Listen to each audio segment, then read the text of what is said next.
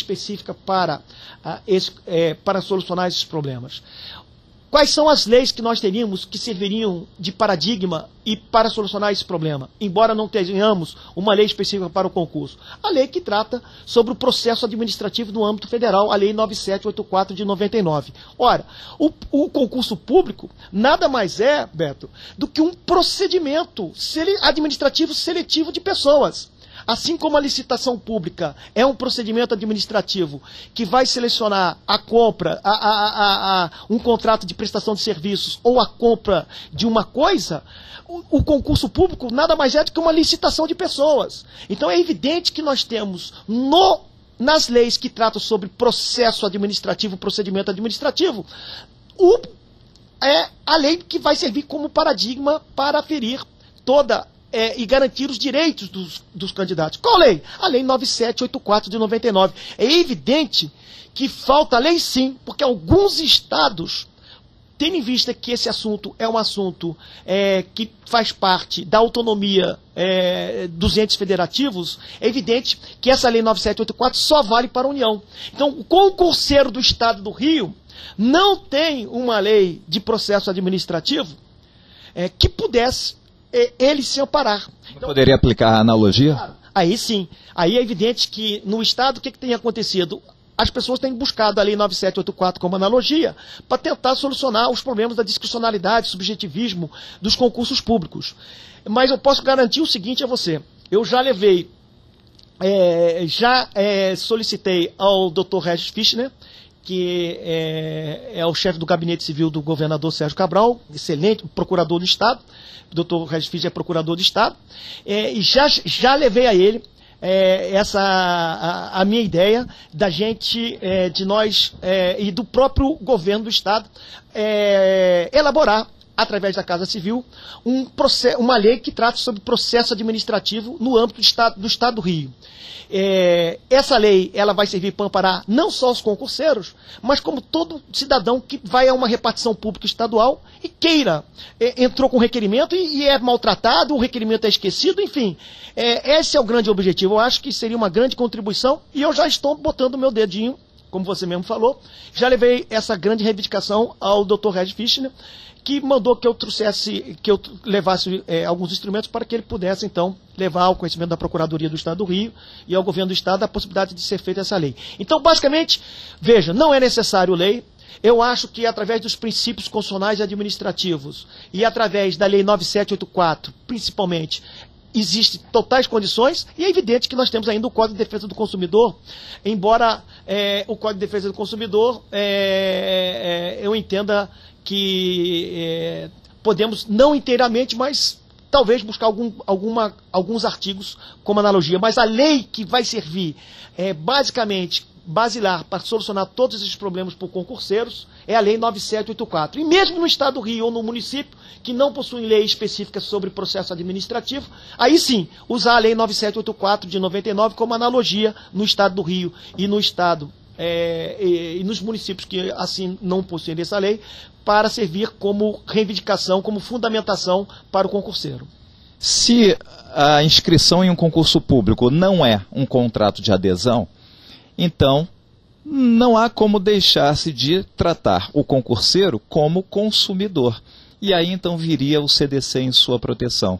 Seria isso, professor? É.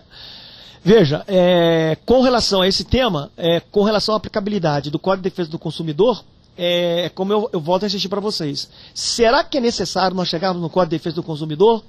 É, com relação a essa fundamentação sua, acho que é pertinente, é uma coisa, é, é, é uma fundamentação que não é teratológica, pelo contrário, é uma fundamentação é, extremamente é, é, compatível, mas volto a insistir, eu acho que a solução não está no Código de Defesa do Consumidor, a solução maior no que se refere a esses problemas principais ligados ao concurso, na Lei 9784 de 99, na minha opinião. Principalmente no artigo 50, que, se salvo engano, seria aquele artigo que trata sobre as limitações do poder discricionário da administração pública, ou seja, os atos que são, eh, limitam direitos, que cerceiam direitos, devem sim serem motivados, esses atos, para haver uma maior transparência no ato administrativo. Perfeito. E basicamente o artigo 2 e o artigo 50, né, é, e também o artigo 49 e 59, no que se refere a prazo para que haja uma resposta de algum requerimento do candidato,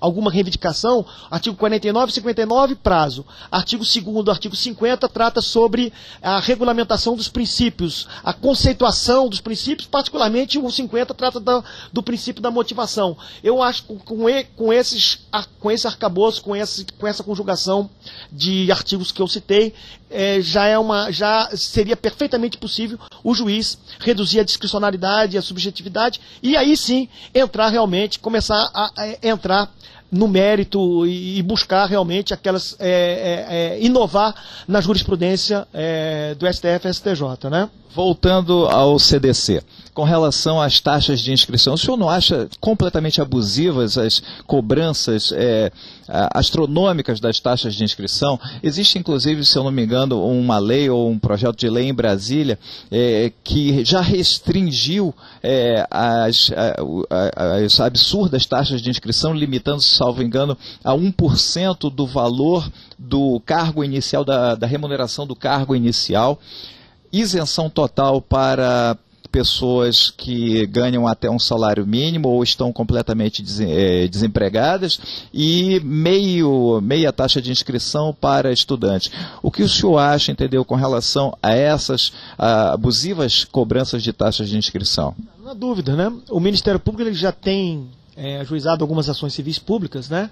Mas eu acho que, basicamente, com relação a esse tema, é, a taxa tem de corresponder é, a exatamente a um valor que, que, que seja é, que sirva para que a organização do concurso possa organizar o concurso e não como é, e, e, não como lucro para o Estado, né? Eu acho que dentro dessa dentro dessa ideia é, é, evidente que as, que as taxas que estão sendo cobradas são altamente abusivas e estão é, sendo usadas como desvio de finalidade mais uma vez para enriquecimento ilícito por parte do Estado por parte daquele órgão que usa a taxa para outros fins e para acumular dinheiro para outras finalidades que não seja a organização, montagem, preparação, locação de salas, enfim, todo aquele custo que é necessário para montar um concurso público. Qual a principal mudança que o senhor encontra no futuro do concurso público? É. Veja, a principal mudança que eu vejo no concurso público é. Eu posso garantir aos concurseiros que já começou a ser idealizada e concretizada. Nós tivemos esse ano é, uma resolução do Conselho da Justiça Federal, que é o conselho que fiscaliza a parte administrativa, financeira é, de toda a Justiça Federal. Esse, a, a resolução do Conselho da Justiça Federal, ela centralizou, levou para Brasília a, a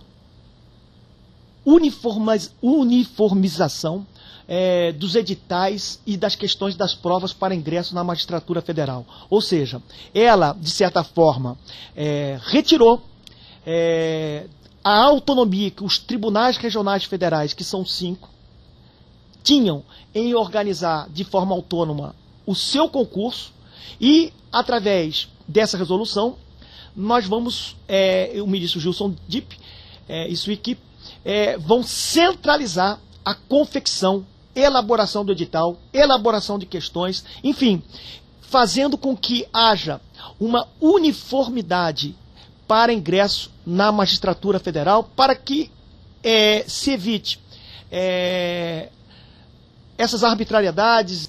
O senhor tem é, algum livro escrito, o senhor também é escritor. É, não trouxe algum livro aqui para gente? Poderia comentar acerca dos seus livros? Sim, eu, eu basicamente, com muita honra, né, é, comecei, é, embora tenha começado na VMPERD, comecei lá no curso Glioche, e o curso Glioche é de um sucesso total, né, e basicamente é, os alunos me pediam para fazer lá, inicialmente faz apostila, professor, e, e, é assim que começa o livro. A gente passa num concurso público, vai, um, vai trabalhar, no, vai ser professor de, de um curso, os alunos começam a pedir para a gente fazer as apostilas, da apostila vem então o livro, né? Então lá no curso Glioche, a quem eu tive, a quem eu devo muito, né? É, também o professor Glioche, É, eu tive a oportunidade de escrever